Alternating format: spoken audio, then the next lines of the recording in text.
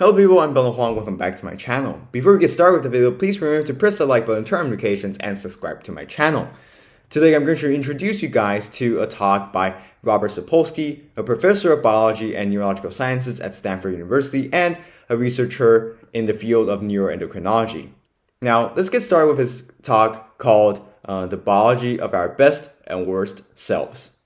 Provocatively speaking, Sapolsky begins the talk by saying that as humans, we are an utterly confused species when it comes to violence. Namely, just as he mentioned, we might be in favor of gun control and against death penalty, whilst we, however, enjoy shooting people in laser tag and watch violent movies. Concurrently, we are capable of conducting bloody, inhumane acts such like the Holocaust and be extremely altruistic and compassionate creatures. We don't hate violence nonetheless, Sapolsky argues, we only despise the wrong type. In addition, Sapolsky states, in order to thoroughly understand the behaviors of our best and worst selves, and all the indistinctive, unclear ones in between, it is not just about the mechanism of electrical signals passing from our brain to our muscles, but also, more importantly, the meaning behind people's actions. For instance, pulling a trigger in some circumstances can be heroic and sacrificial, but in other cases, terrifying and appalling. Beyond that, Professor also says, uh, says just by tracing back certain genes and child experiences is not going to take us anywhere, as there is no behavior that has solely one level of causality. To elaborate, Sapolsky illustrated an example of misidentifying a person for holding a phone for a knife, which resulted in the individual being shot as a consequence. And to know what, what led to this behavior, there are numerous factors that we have to take into account, i.e., everything from environmental to psychological.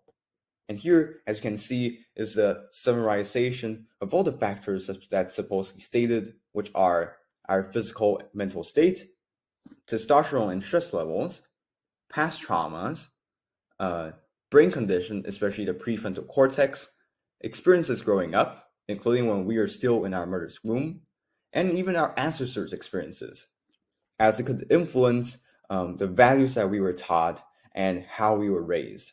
In general, Sapolsky suggests to understand a behavior, we have to look at all these variables that I have listed here alongside what just happened from a second to millions of years ago.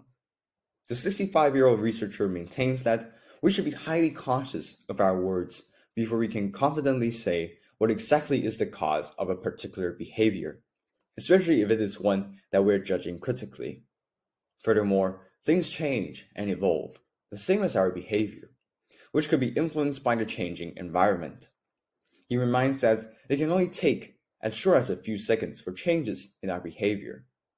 Lastly, as opposed to the famous quote, those who don't study history are destined to repeat themselves. Sapolsky, Sapolsky argues those who don't study the history of human change and its biology are destined not to be able to repeat the glorious, significant moments that have happened in history. Firstly, I would like to say that regarding what the American professor has said about taking numerous factors into consideration, it could be essentially concluded as uh, nothing is as simple as it looks. While there's no reason why we should judge a book merely based on its cover, this is exactly what most of us do. And just as Sapolsky argues, everything in life has more than one level of causality. In regard to behavior specifically, we have to be aware that there are multiple causes that can contrib- contribute to the conduction of an individual's behavior, which I argue we most likely wouldn't know. Hence, apart from taking our ancestors' history and biology into account, more significantly and practically, we should approach what we see, for example, specific behavior, from rational, logical, or even in some cases, generous perspective. With the reason being that, simply, it is highly likely that we do not know the exact reason behind others' actions and what they have possibly been through that may have resulted them being in such a way. Additionally, it is terribly rude to comment critically or lightly on someone's actions, which they did not choose or intend to do, especially if it is an illness or disability. To take this even further, I even say, for a lot of us, it seems we voice our opinions too quickly, as it is way easier to express our feelings straight from our, straight from our heart and with, without evaluating it inside our head first. And in reality, we wouldn't want to miss an opportunity or uh, make a mistake on something that we shouldn't have mistaken, all due to our mis- misinterpretation and misunderstanding. On top of that, with, res- with respect to what I have said specifically on observing the events that are happening around us from logical view, this, I think, is the essence of science. That is, to look at all possible factors which may lead to a certain reaction from uh, an ob- objective, logical, and equal point of view. And I believe this is the type of mindset that we should all have in order to not to criticize what is happening around us carelessly. Moreover, it is merely by doing so can we observe more comprehensively and hence reach the truth of the matter. That is to say, in a more practical sense, not only this way of thinking could be used in observing the things around us, but also in ex- uh, experiments and discussions. For instance, seminars. And I am of the opinion that when we begin to do this on a day to day basis, we can discover more sides of an argument uh, and look at things, an argument to look at things more holistically, and hopefully, even better, come up with better solutions, uh, decisions, and solutions in life. Furthermore, I agree with both the iconic history quote that says, Those who don't study history are destined to repeat themselves, and Sapolsky's point, those who don't study the history of human change are, and its biology are destined not to be able to repeat the glorious significant moments that happened in history. Nevertheless, I believe the purpose of studying history is more than solely memorizing the dates of important events.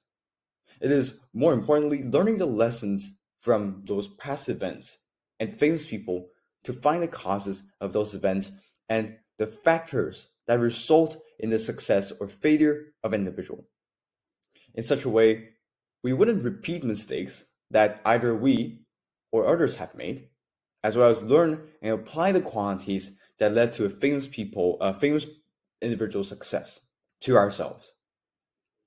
On that note, based on what I've just said, I would also say if one thinks that memorizing uh, memorizing dates of historical events is all there is to history, they are not only missing out on one of or even the most crucial element of history, but also one of the most valuable and useful tools for us to prevent failure and guide us to success in life. Thank you guys so much for watching. Please remember to like, comment, and subscribe to my channel for more videos of TED Talk summaries and opinions like this. And I will see you in the next video. Bye bye.